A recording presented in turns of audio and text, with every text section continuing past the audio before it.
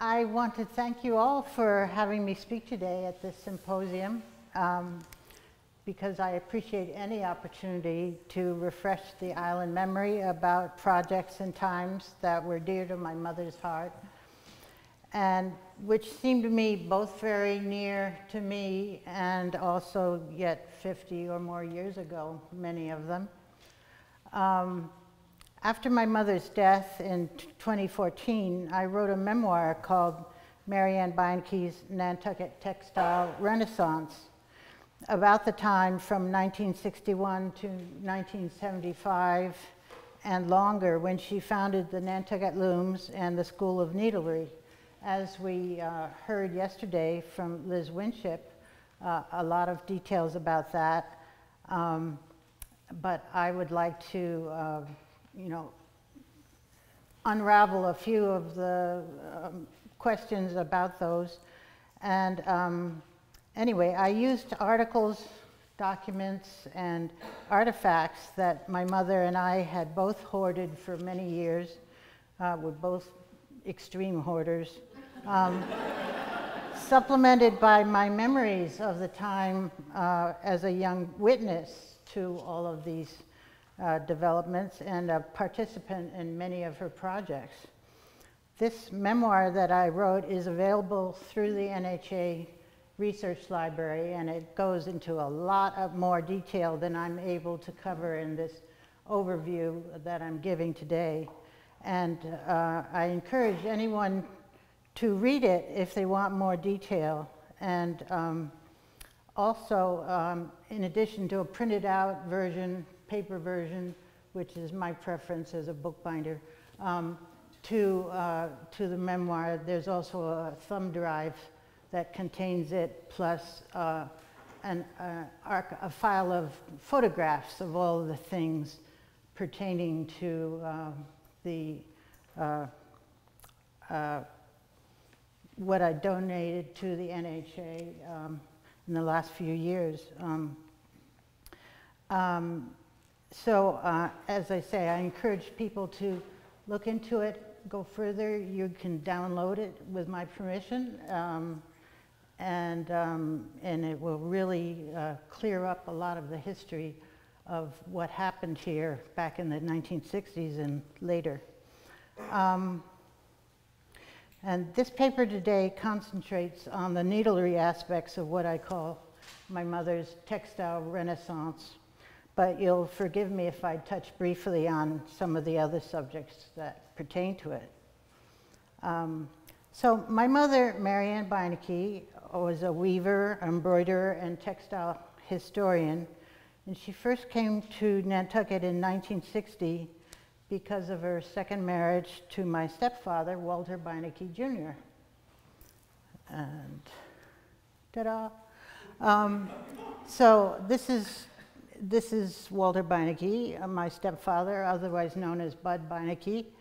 And he was uh, mostly a lifelong summer resident in the early 1960s. But um, he was involved in several activities of both a for-profit nature, such as the total rebuilding of the White Elephant Hotel, which uh, reopened in 1963, and a nonprofit nature on the island. Uh, huh. This is a slide showing my mother and Walter at the opening uh, ceremony of the White Elephant Hotel. um, the most important, uh, well, several of the nonprofit things he did was such as the founding of the Conservation Foundation, uh, work with the hospital, and especially for this subject, the Nantucket Historical Trust, which I think he founded with his father in 1957 before I knew him, so I'm not quite sure of the details. Um, his father, Walter Beinecke I, uh, was also very involved in Nantucket um, projects of a nonprofit type. Um, and the Nantucket Historical Trust, uh, which bought and restored examples of Nantucket architecture, and then they would sell them with covenants on them in order to fund the next project that they did.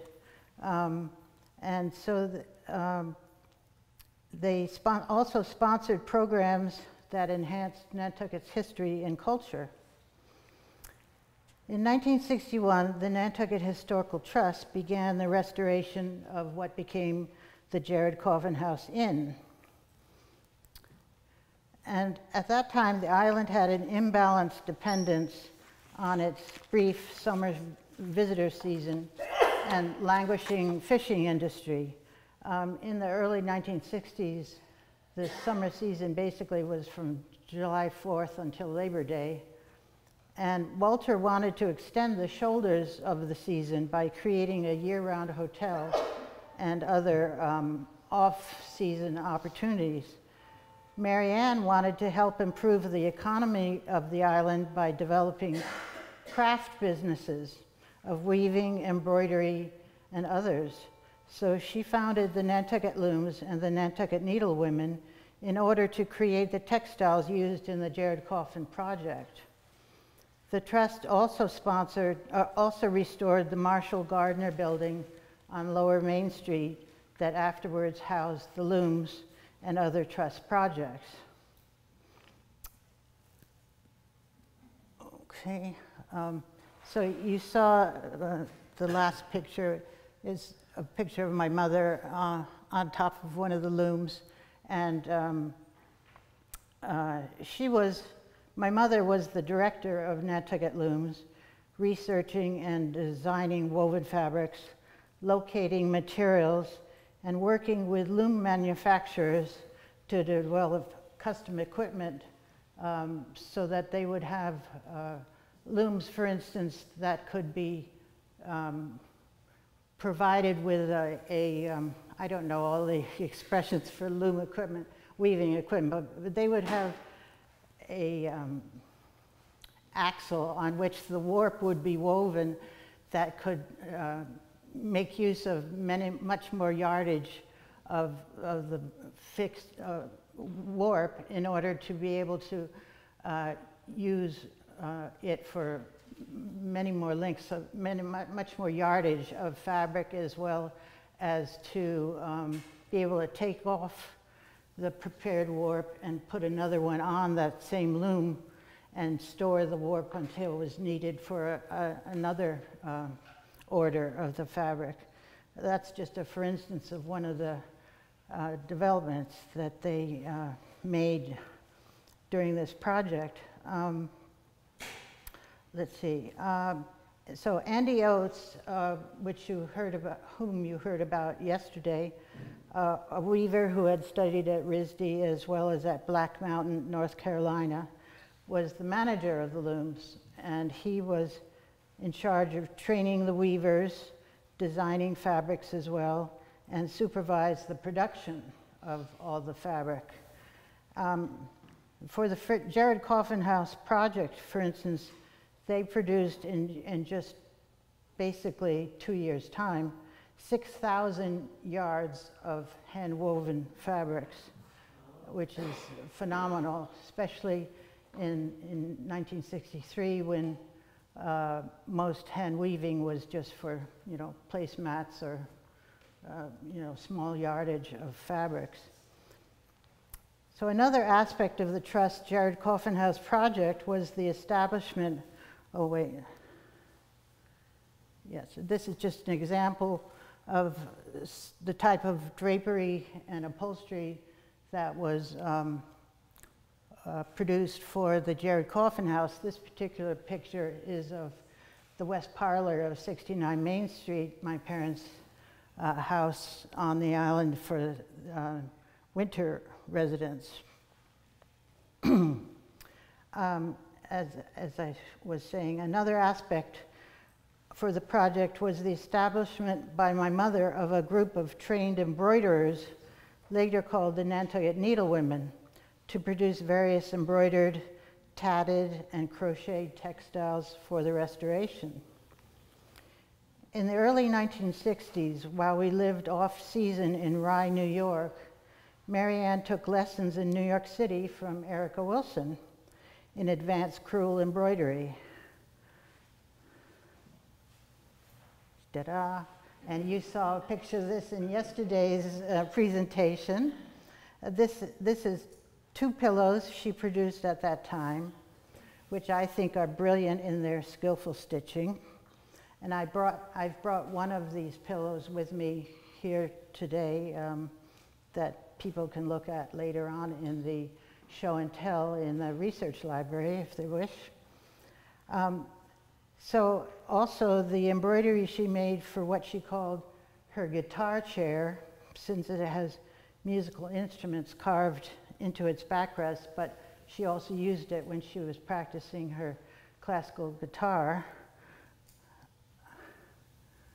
Uh, I'm sorry that the sun is shining on part of this, but um, I, am very fond of, of this embroidery also.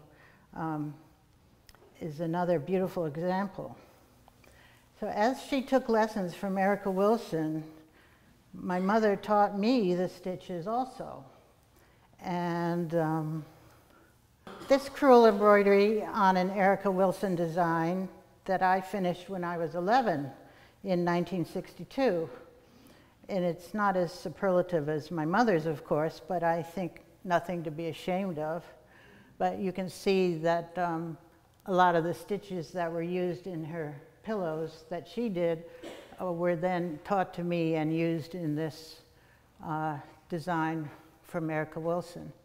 And I also have another piece of linen on which uh, a companion design was printed um, of a squirrel, um, which I never even started.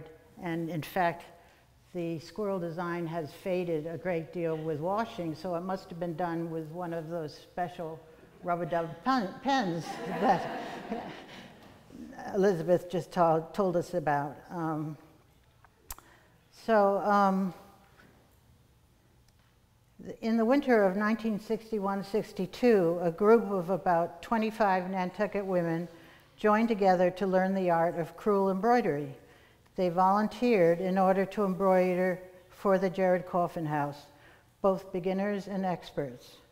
The trust sponsored Erica Wilson, who has been called the Julia Child of Needlework, as you heard yesterday, to come to the island to teach them. And because of that, Erica Wilson became an island establishment.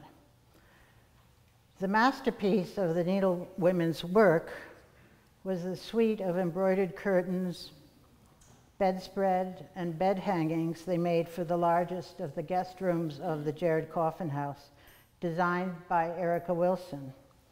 One curtain took five months to embroider with a crewel work border. Some of the same needlewomen also embroidered the bedspread for the Beinecke's master bedroom at 69 Main Street, which was restored and furnished at the same time as the Jared Coffin House to be their winter home on the island, as both Walter and Mary Ann spent part of almost every week there. um, I've uh, sent this bedspread to the NHA to be donated, um, and uh, the uh, pattern was taken from the chintz curtains that you see hanging in the room. And I have the tracing paper pattern that was actually used, um, but it was too large a thing to bring with me on the boat. Um, and I also have some very large embroidery designs for maybe for rugs or, or something that the needlewomen made um, that were also too large to uh, send here. But anyway, um, somewhere in the NHA is the box that this bedspread came in a few weeks ago. Um, let's see, oh right. So after the Jared Coffin House opened as a year-round luxury hotel in 1963, the looms continued to develop into a world-famous hand-weaving enterprise, making custom textiles for both historic and modern interiors and they were marketed to the industry by Tybock Fabrics of New York, who had showrooms all over the country and even uh, internationally. The Trust building on Main Street also became a showcase for many other island craftspeople. Gwen Guyard's knits, Pat Gardner's carved birds, lightship baskets, scrimshaw, whirligigs, and macrame.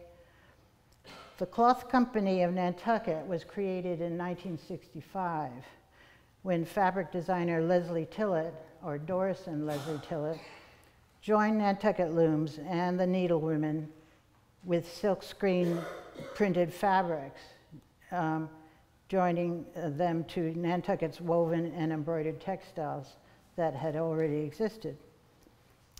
In 1968, unfortunately, the cloth company was disbanded. Um, and since Nantucket Looms was by then a profitable bu business, the trust sold it to managers Andy Oates and Bill Euler, who continued it successfully for many years, as you know. And here we can see my mother and my aunt and nephew, uh, or cousin, and my little brother Walter Beinecke III um, outside the Nantucket Looms building, now officially the Nantucket Looms building, no longer the Nash Nantucket Historical Trust building in 1968. Uh,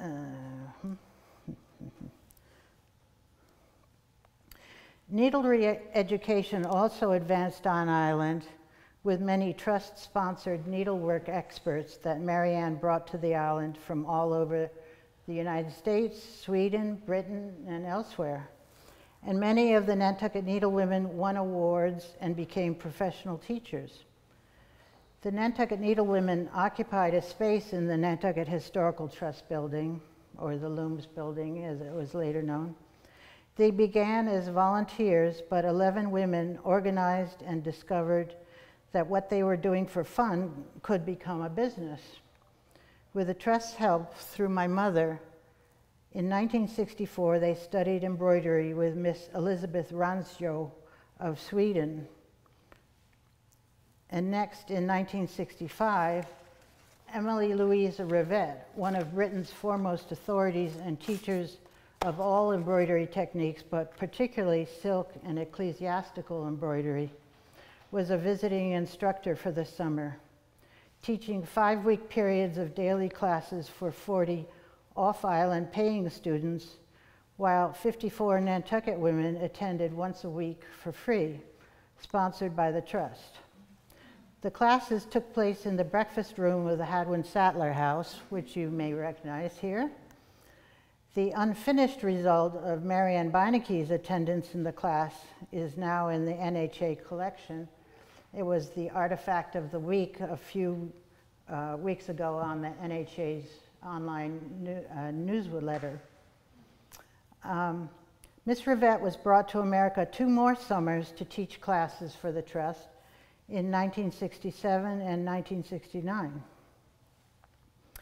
In November 1965, the Nantucket Needlewomen convened together to discuss future educational and teaching programs and business matters pertaining to the growth and objectives of the organization.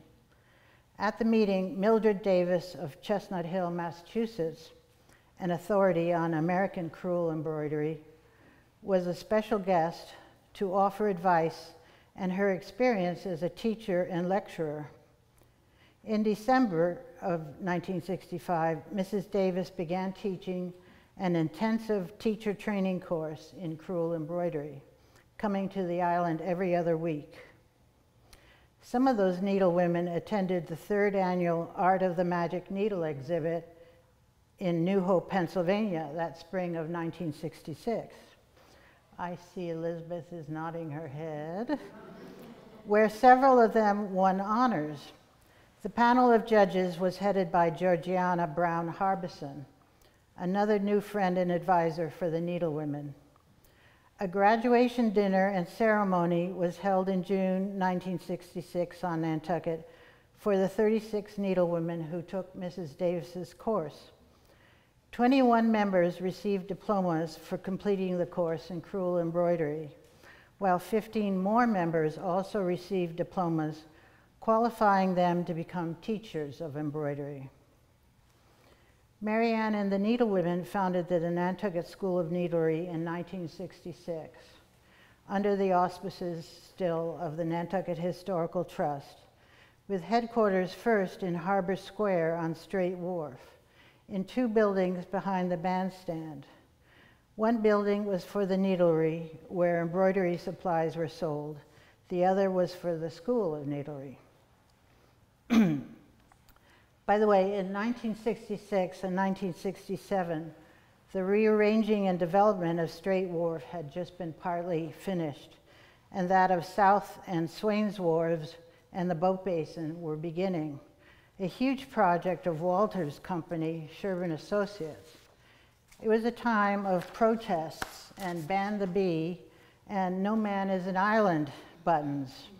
I even had one um, because people were very upset at the way he aggressively rearranged the derelict waterfront and made it the front door of the town. Um, I can very much sympathize with that. It must have been a huge shock to a lot of people, but it, it, it made the waterfront be welcoming to visitors and um, more upscale um, residents and visitors and um, basically began the transformation of Nantucket for better or worse into what it is today. Okay, now this is one of my favorite artifacts of all that were in the um, collection that I donated to the NHA a long photograph glued on the back piece of a backside of a piece of wood that my mother used as a cutting mat shows what I think is the whole population of the cloth company of Nantucket, with weavers, embroiderers, and silk screeners gathered in the Harbor Square building, perhaps in 1966, commemorating a start or um, an ending? I don't know. Um, I can recognize some of the faces, but I'm not sure who all of them are.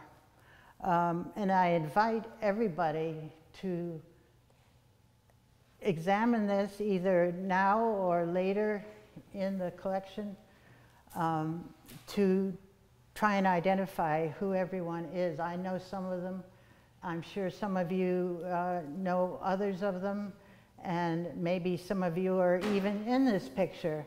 So um, it would be wonderful if we knew who every single person was and what uh, relationship they had with the Nantucket Looms or the Needlewomen or uh, other parts of the cloth company.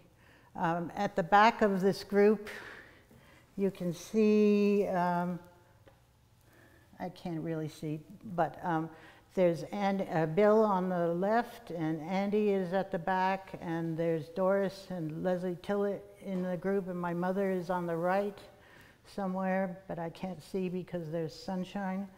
Um, but anyway, it's a, it's a wonderful group photograph, and I think very precious. My mother thought so also, because I found this photograph in the bottom drawer of her bedroom desk which is where she kept very precious things like her children's valentines or school reports and other precious memories. So, um,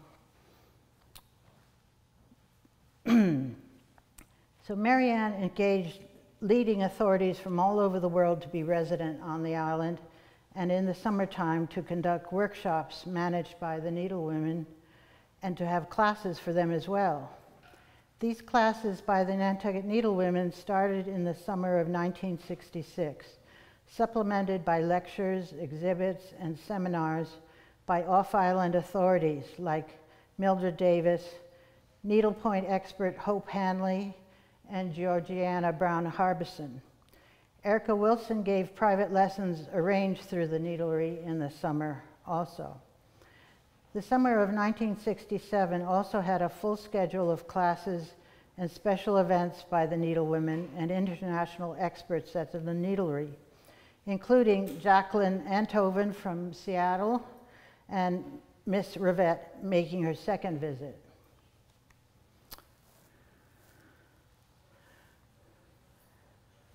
Um, Mary Ann and the School of Needlery also produced a booklet of stitches, 73 effective needlery stitches, which could be put in kits or sold as a souvenir. When the cloth company was broken up in the spring of 1968, I think because it was an economic drain on the historical trust, the looms was sold to Andy Oates and Bill Euler, as I mentioned.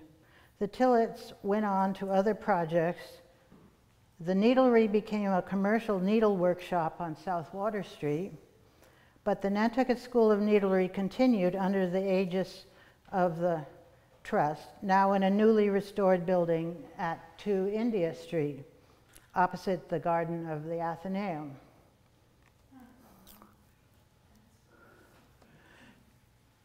The Nantucket School of Needlery as the only one of its kind in the nation attempted to fill a void in the quality education of people in the art of needlework. After having a national survey made to confirm the need, Mary Ann Beinecke and the teachers developed the home study course to enable people to learn the various stitches of embroidery at their own pace, whether for amusement or to become a professional, whether on Nantucket or anywhere in the world. What do you do if you can't get to a school? The school must come to you, Mary Ann said.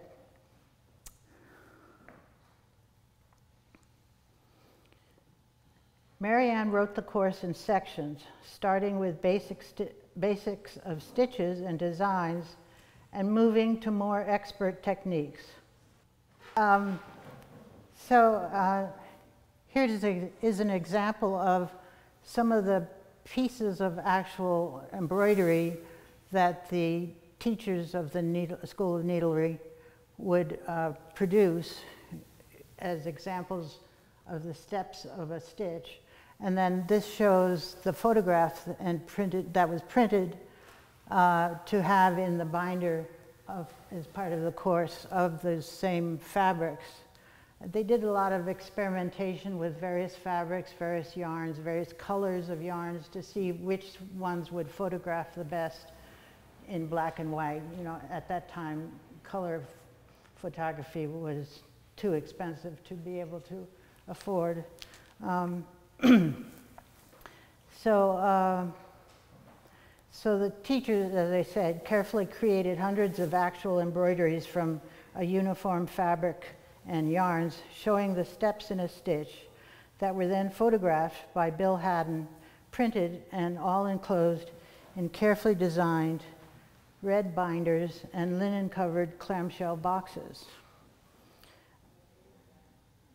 One of my Mary Ann's pleasures in life was designing and having produced packaging for her courses, her yarns, and other products. She loved the whole, the whole aspect of, of merchandising things to the best effect. Um, the home study course kits included all the materials needed for each section, such as cloth, yarn, needles, graph paper, or color cards. Students made samplers according to directions in the home study course and mailed them to the school. There, certified teachers studied the work, wrote critiques, and returned the sample and the evaluation to the student. Um, well, yeah. As the sections were produced, 1 to 5, then 6 to 10, 11 to 15, and 16 to 20, the first students tried them out, gave feedback, and anxiously waited for the next installments like 19th century serial readers of Dickens' Old Curiosity Shop. In the NHA collection are various versions of the sections, edited with notes of changes in Mary Ann's handwriting to be made to them before the next printing.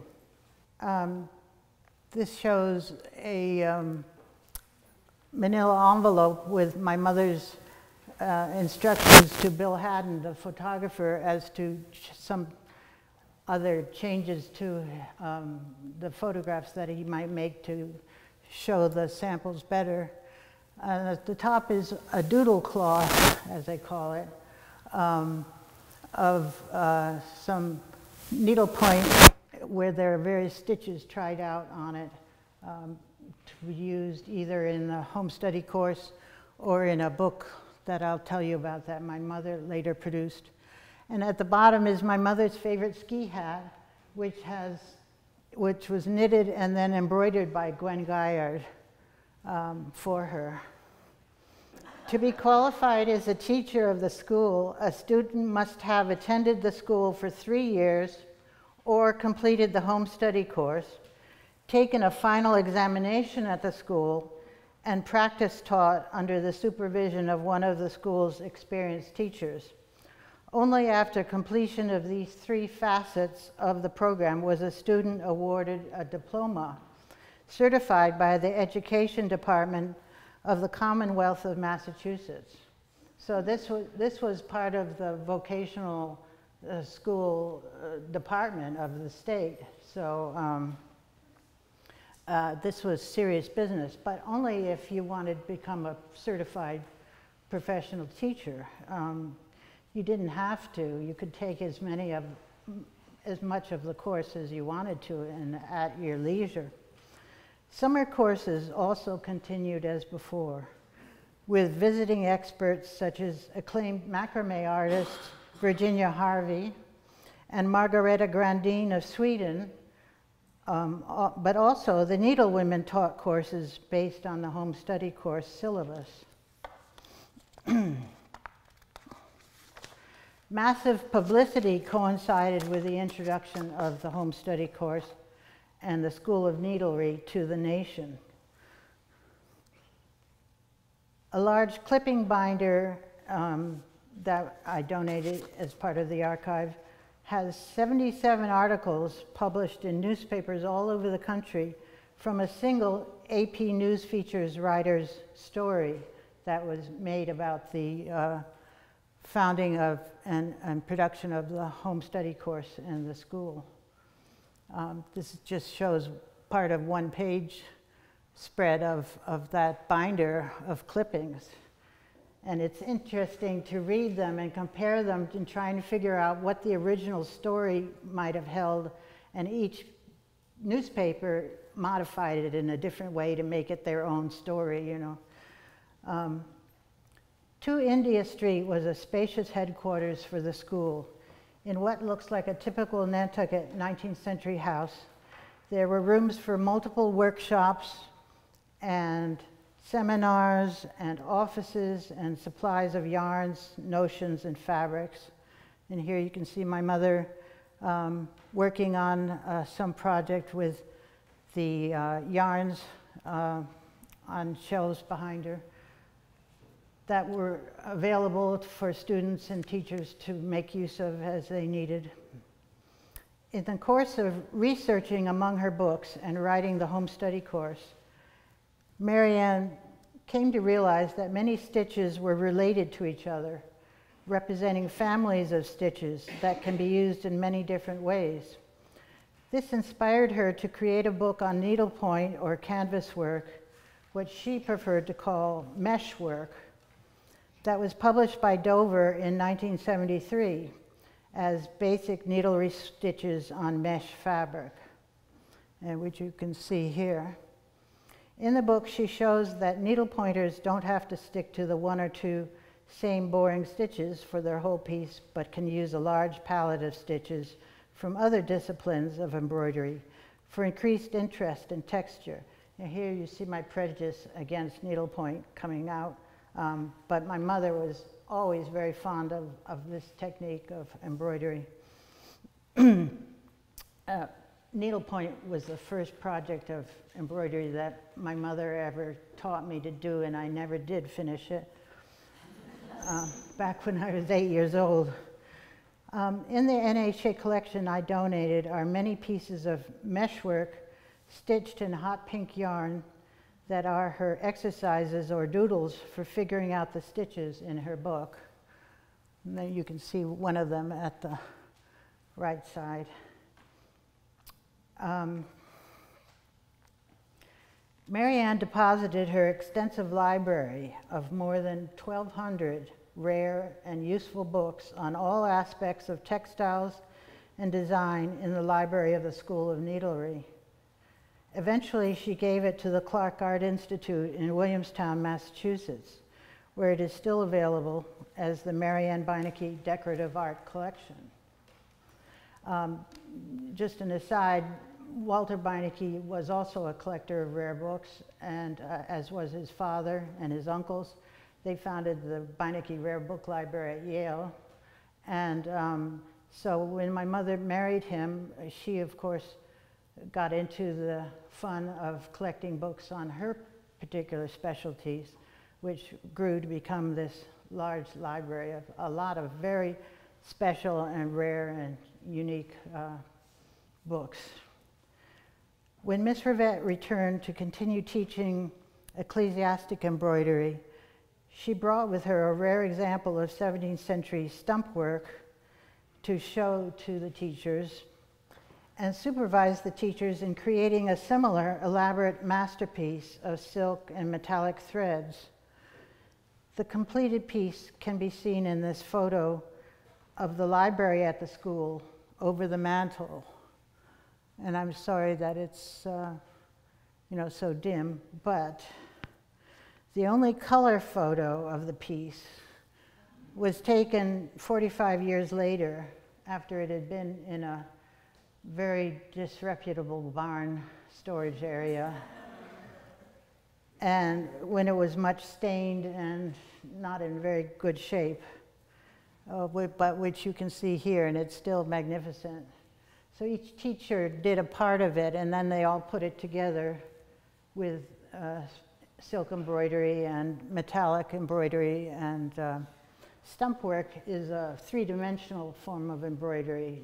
It has parts to it that have been padded and raised and, and covered with silk and metallics uh, to, to make a very uh, magnificent uh, presentation. And it's most often used, I think, in various ecclesiastical type uh, situations.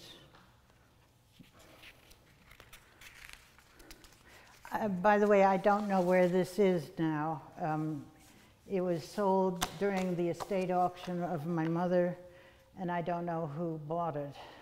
You know, so where it exists now, I don't know. Maybe the NHA bought it. I, I don't know. Uh, but um, anyway, we at least have this snapshot that I took of it. Mary Ann Beinecke and her associates developed a custom line of embroidery yarn called Nantucket Twist, the forerunner of her later yarns 88 line, Dimin, and Epic 99 line. And she researched the location of other hard to find needlework supplies, metallics for ecclesiastic work, like gold or silver bullion, or this cloth of gold uh, were especially scarce. And so at the School of Needlery, they had a supply of these things that they were able to uh, sell to people who needed them. And I incorporated some non-traditionally into this tapestry that I made after taking one of the school's summer courses in 1970. And um, in a few places there are glimmers of metallics incorporated with the other yarns uh, to show the moonlight, you know, shining off of them and on the unicorn's horns. Um, Henry Willett of Willett Stained Glass Studios taught courses in um, uh, symbols and uh, other ecclesiastic um, knowledge that is important to know when you're designing for churches or synagogues. Um, he, was, he and his family were longtime summer residents of Nantucket also. uh, many experts on embroidery continued to teach or lecture at the school. Margareta Grandin uh, later Grandin Nettles of Sweden, became a resident teacher. In 1969, the Beinecke family moved to Williamstown, Massachusetts, my family, while I was at college, as their winter residence instead of New York City. And Mary Ann became very involved in historic preservation and rehabilitation of old mills in the nearby city of North Adams, as well as other areas of Massachusetts and New England. And she worked with Governor Dukakis on several of his committees, like the Designer Selection Board and, and uh, other, um, and with the National Trust for Historic Preservation. Um, Meanwhile, Walter and the Nantucket Historic Trust had moved on to supporting other projects, such as the Preservation Institute in Nantucket, in collaboration with the National Trust for Historic Preservation. And I was away studying bookbinding from 1972 to 1975, so I wasn't on island and I don't have inside knowledge of how the School of Needlery came to no longer exist on the island. According to papers in her files, in the spring of 1975, Mary Ann established Textile Studios, a company in the Windsor Mill in North Adams, with Margareta Grandin Nettles as the president. That summer, the assets of the Nantucket School of Needlery were transferred to Textile Studios. Fortunately, for a while, the Trust continued to support the supervision of the home study course by Textile Studios. By the time I returned to Nantucket in the fall of 1975 to set up my bindery and to live here year round, the Nantucket School of Needlery was no longer here. I hope that the teachers and students of the school continued their careers in some way but that is for others to fill in the history. And I hope you all will contribute what you know um, to, to let the story be complete or more complete as it could be. So thank you very much, and I welcome any questions.